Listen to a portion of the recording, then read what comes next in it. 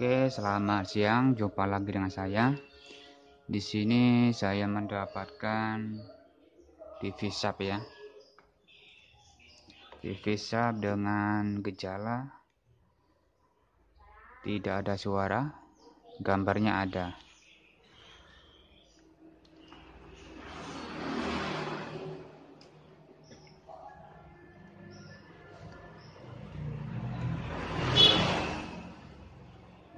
Ya ini.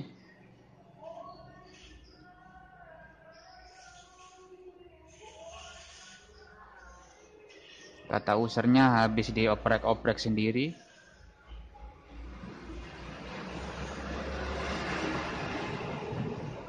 Nggak ada suara ya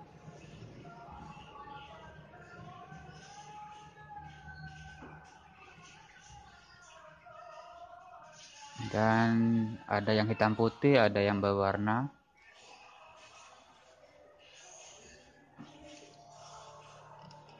Di sini saya coba untuk auto.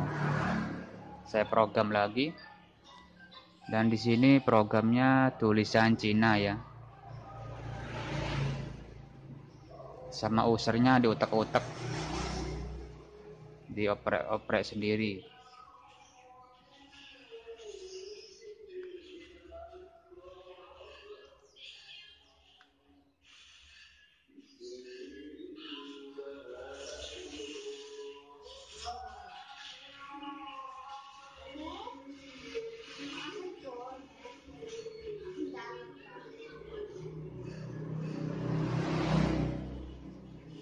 coba program lagi.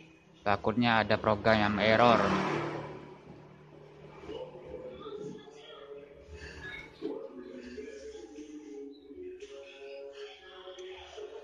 TV ini sudah ganti mesin rupanya ya karena tampilannya seperti TV Cina.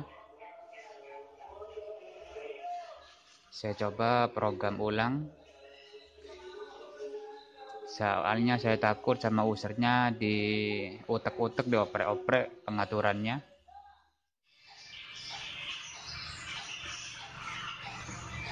oke kita tunggu ya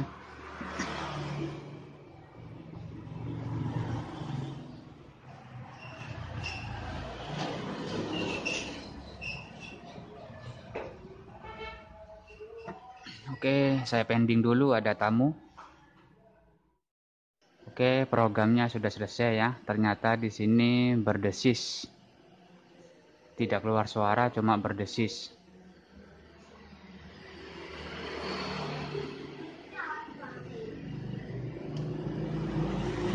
Seperti settingannya kurang pas ya. Ini PAL. Ini auto ya ini sistemnya berapa ini? Saya utek-utek. Ini sistemnya tidak pas ini ya. Berubah kayaknya ini.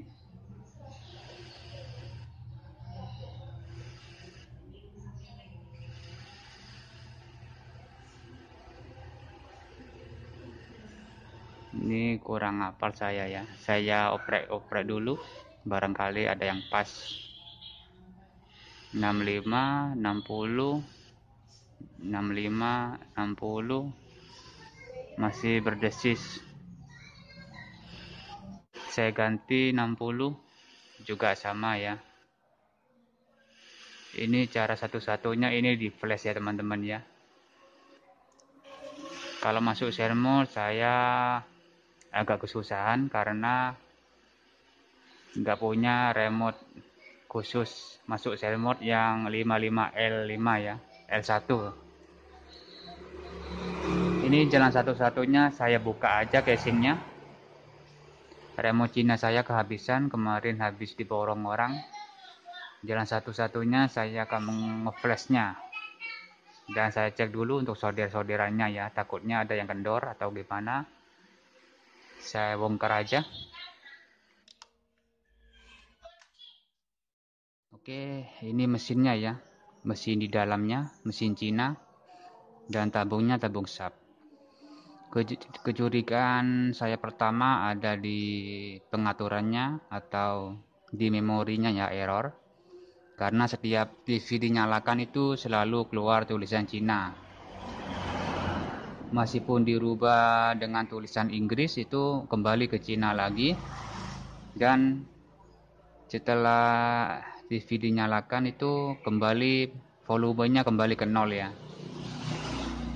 harus pakai remote lagi. Kecurigaan saya ada di memorinya. Dan di sini memakai IC tunggal dengan seri LA7693 931 ya. Oke, saya coba-coba untuk mencari TV Cina yang IC tunggal.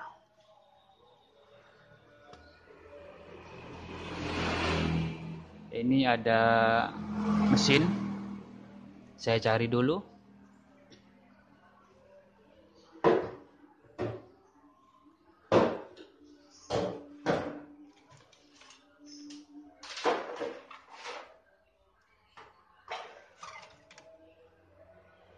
yang ini IC 2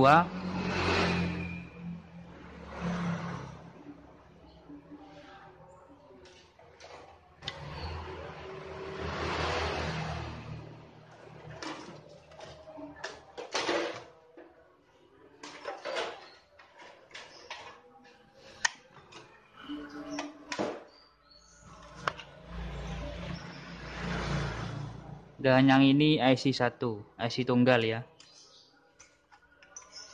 cuma serinya berbeda.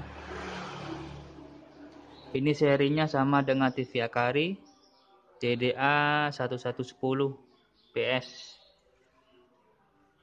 saya coba-coba aja ya.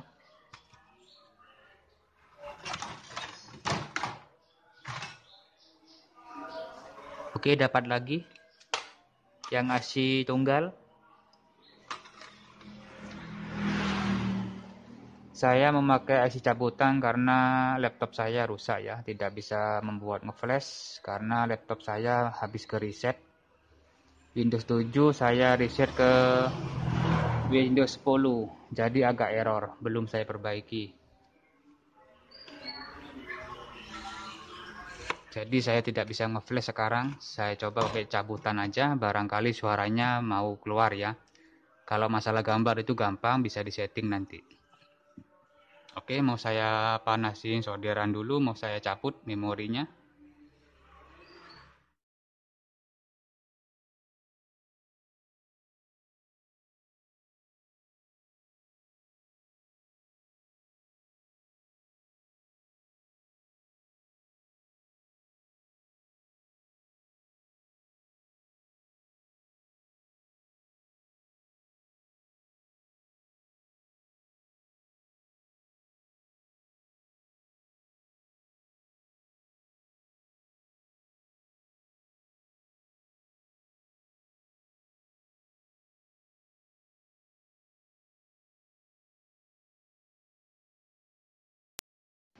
Oke, ternyata setelah penggantian elko masih nihil ya.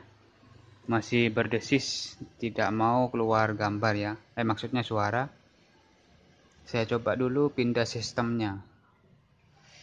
Oke. Sistemnya saya rubah-rubah. Masih ngosos. Tidak mau ya. Oke, jadi jalan satu-satunya saya coba untuk ngeflash atau ganti memori ya karena alat flash saya lagi error lagi kesulitan mengeflashnya ya saya install dulu untuk softwarenya RT 809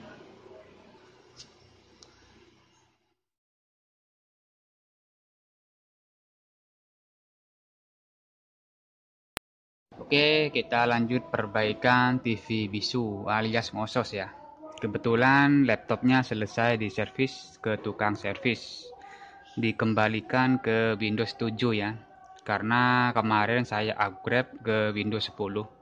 Gak taunya ikut error driver programmernya ya. Sekarang sudah diinstal ulang ke Windows 7 dan sekarang sudah berhasil. Oke, untuk memorinya sudah saya lepas. Kemarin saya share mode tidak mempan ya. Dan dua kali ganti IC memori juga tidak mempan. Saya ganti dengan cabutannya tidak mempan. Dan yang ini cara terakhir, mau saya flash. Kita buka aplikasinya jadi kalau tidak punya alat flash itu sangat bingung ya, kebingungan. Jadi buat teknisi harus mempunyai alat flash meskipun yang biasa-biasa saja ya. Kalau yang seperti ini, ini yang bagus ini ya. Dulu saya beli itu 800 lengkap sama kaset-kasetnya. Oke, kita melakukan pengeflashan di sini langsung saya flash kita open di sini apa namanya kromanya memakai 3631 LA 3631 ya. Kita cari data 3631 EPROM Cina. Kita langsung ketik aja LA 76 LA76 Oke ini sudah keluar ya. Di sini ada dua LA76 karena memori ini menggunakan 1 MB jadi saya memakai yang 1 MB saya ketik ini dan dibuka dan kita melakukan pengeflashan kita tekan tulisan ini ya dan kita flash oke sudah memulai sudah proses dan pengeflashan pun cuma dua detik sudah selesai. Oke kita tutup. Oke sekarang langsung saya tancap ke mesinnya. Mesinnya ada di ada di bawah. Saya tancap ya Oke, pemasangan memori sudah selesai, saatnya dicoba. Kita nyalakan di sini tanpa anten ya, karena harus menggunakan soket.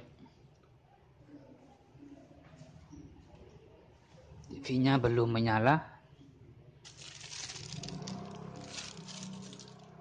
Oke, sudah menyala. Oke, suaranya langsung keluar ya. Cuma di sini kebesaran. Nanti kita share mode. Ya, nggak perlu kita jabarin karena udah salah ya. Oke, yang ketiga, yang ketiga pola pikirnya. Oke. Di sini kelebaran, yang penting suaranya normal ya. Kalau kelebaran seperti ini, yang keenam kedewasaannya. Kita gampang nanti ya mengatasinya, kita share mode.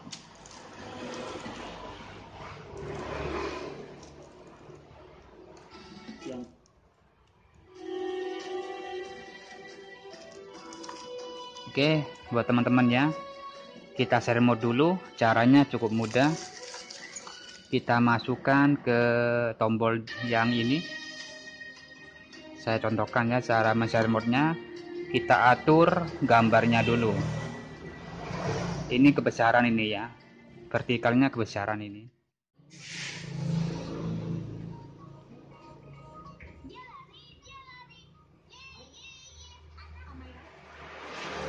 Oke sudah pas ya. Kalau sudah pas kita keluar. Kita keluar tom tekan lagi tombolnya. Oke tekan lagi tombolnya. Oke sudah selesai.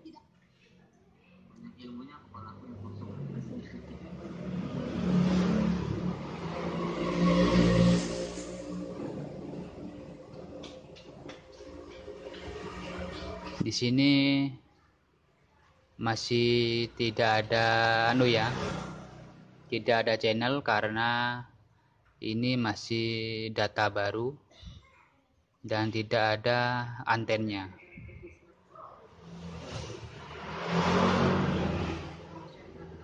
Antennya belum belum ada ya. Saya memakai probe